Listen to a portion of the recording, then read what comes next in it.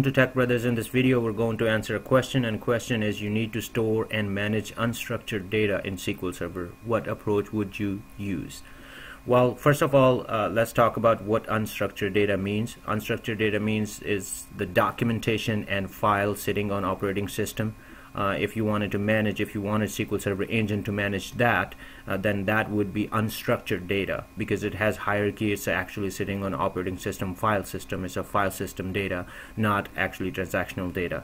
So there are a couple ways that you could do it in SQL Server uh, 2008 R2. Um, let me write down here.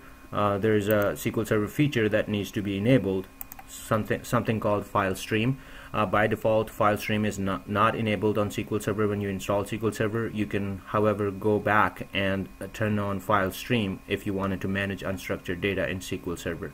In SQL Server 2012 and above uh, there's a select feature came out is table file feature. Um, that uses back behind the scene is enhanced version of file stream but um, you can use table file feature in order to manage uh, and store unstructured data such as documents and files on uh, operating system in SQL Server Engine. I hope it helps.